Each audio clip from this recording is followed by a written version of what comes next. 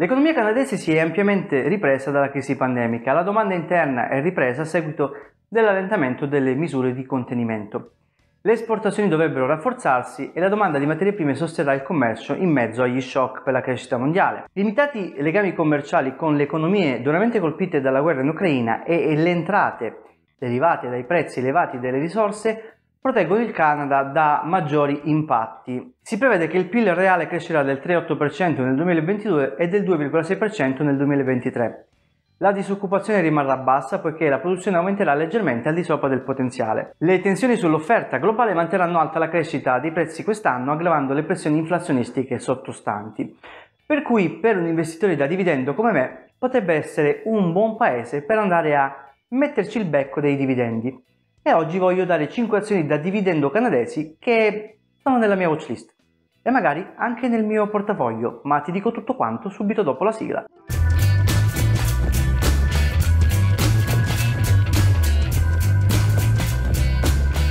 Ciao a tutti, bentornati sul canale Io Risparmio, io sono Pasquale, il vostro investitore e risparmiatore della Porta Accanto, nonché educatore finanziario AIEF ed autore del libro Da meno 35.000 in 18 mesi.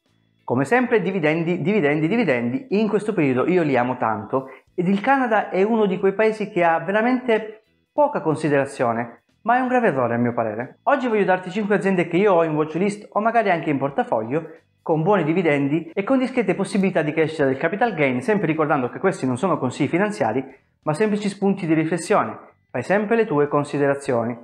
Inoltre queste aziende sono molte volte rischiose, per cui mi raccomando studiale bene se proprio vuoi approfondirle. La prima è Enbridge. Enbridge opera come società di infrastrutture energetiche. L'azienda opera attraverso cinque segmenti: Liquids Pipelines, Gas and Transmission and Midstream, Gas Distribution and Storage Renewable Power Generation e infine Energy Services. Il primo segmento, quello delle liquid pipelines, gestisce oleodotti e relativi terminali per il trasporto di vari tipi di petrolio greggio e altri idrocarburi liquidi sia in Canada che negli Stati Uniti d'America. Il secondo segmento, Gas Transmission e Midstream, invece investe in gasdotti e impianti di raccolta e trattamento in Canada e negli Stati Uniti d'America. Il terzo segmento, quello dello stoccaggio del gas, è coinvolto in operazioni di servizi pubblici di gas naturale che è al servizio dei clienti residenziali, commerciali ed industriali in Ontario, nonché in attività di distribuzione di gas naturale e trasporto di energia in Quebec. Il quarto segmento, Renewable Power Generation, gestisce asset di generazione di energia come da impianti eolici,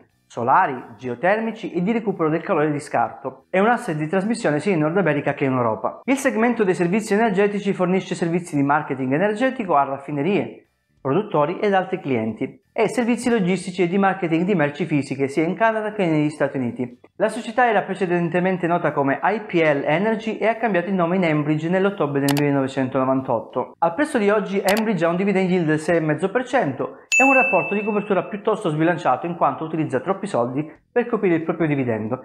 Infatti il suo payout ratio è del 117%. Ha praticamente poco cash ma in quanto a infrastrutture offre una buona copertura degli asset sulle proprie passività L'azienda ha comunque ottime prospettive di crescita sia in relazione del fatturato che dei propri earnings. La seconda azienda è Keyera. Keyera Corporation si occupa di infrastrutture energetiche in Canada. L'azienda opera attraverso i segmenti di Gathering and Processing, Liquid Infrastructure e Marketing Segments.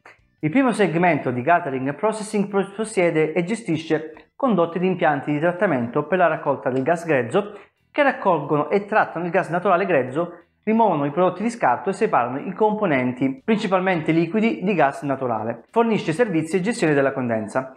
Questo segmento ha circa 4.400 km di gasdotti di raccolta e detiene partecipazioni in 12 impianti di gas attivi ad Alberta. Il secondo segmento, quello di Liquids Infrastructures, fornisce servizi di raccolta, elaborazione, frazionamento, stoccaggio, trasporto, miscelazione di liquidi e terminaling per i liquidi di gas naturale e inoltre anche per petrolio greggio attraverso una rete di strutture che include caverne di stoccaggio di gas naturale liquido sotterranee, nonché terminal ferroviari, camion e impianti di miscelazione. Ha un impianto inoltre ad Alberta che si chiama Enviro Fuels e questo segmento produce anche iso-ottano. Il segmento marketing si occupa della commercializzazione di propano, butano condensato e isottano, nonché di attività di miscelazione dei liquidi. Al prezzo di oggi Keyer ha un dividend yield del 6,71% e un rapporto di copertura dei dividendi anche in questo caso piuttosto sbilanciato, con un payout ratio che sfiora il 120% azienda che è prevista crescere in maniera interessante sia in termini di earnings che di fatturato, con una situazione finanziaria praticamente speculare a quella di Enbridge, con poco cash, ma anche con molte infrastrutture che riescono a coprire ampiamente le proprie passività. Per la terza azienda, chi mi segue sa che ce l'ho in portafoglio e parlo di Pembina Pipeline.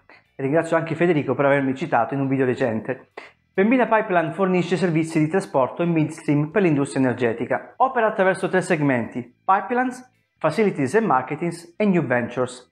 Il segmento Pipelines gestisce convenzionali, sabbie bituminose, petrolio pesante e mezzi di trasmissione con una capacità di trasporto di circa di 3,1 milioni di barili di petrolio equivalente al giorno, con stoccaggio a terra di 11 milioni di barili e capacità di terminal ferroviari di circa 105 migliaia di barili di petrolio equivalente al giorno che serve mercati di bacini di tutto il Nord America. Il segmento Facilities offre infrastrutture che forniscono ai clienti gas naturale condensato e liquidi di gas naturale, l'NGL, inclusi etano, propano, butano e condensato, e comprende 354 migliaia di barili al giorno di capacità di frazionamento di NGL, 21 milioni di barili di capacità di stoccaggio in caverne e strutture associate di terminal ferroviari e di gasdotti. Il segmento di marketing e New Ventures acquista e vende idrocarburi liquidi e gas naturale originali del bacino sedimentario del Canada occidentale e anche di altri bacini. Al prezzo di oggi Pembina Pipeline ha un dividend yield del 5,84% e un rapporto di copertura dei dividendi anche in questo caso sbilanciato ma meglio delle altre due, con un payout che sfiora il 110%.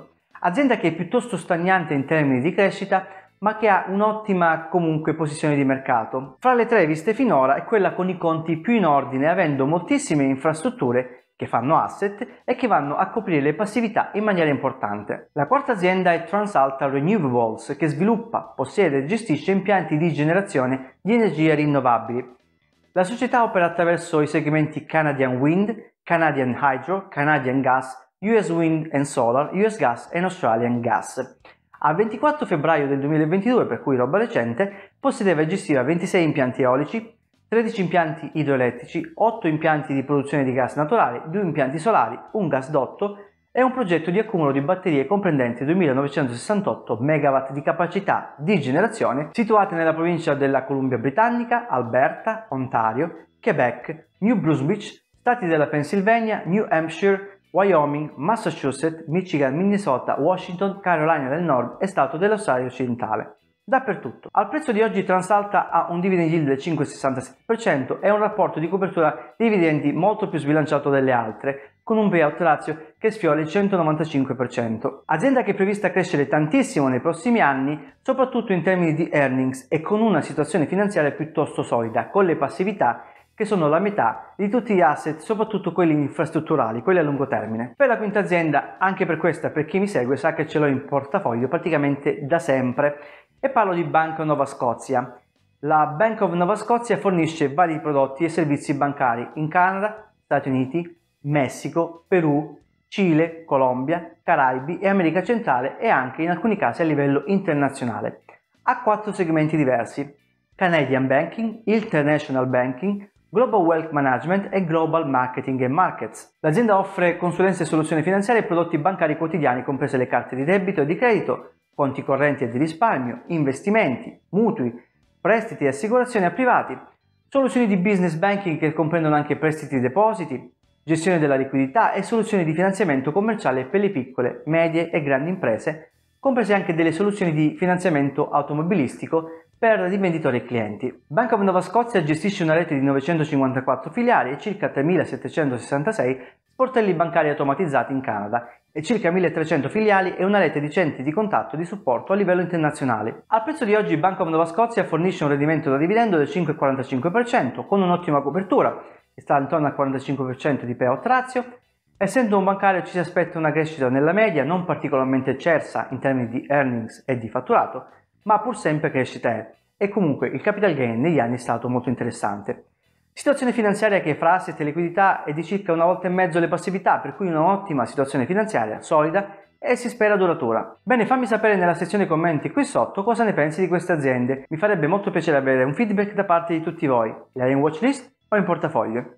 o non avevi mai sentito parlare. Poi se il contenuto è stato di tuo gradimento ti chiedo come sempre per cortesia di farmelo sapere con un bel pollice in su per l'algoritmo di YouTube, ma anche per me stesso. Se poi sei nuovo sul canale e non vuoi perderti nessun nuovo contenuto successivo iscriviti e clicca la campanella delle notifiche.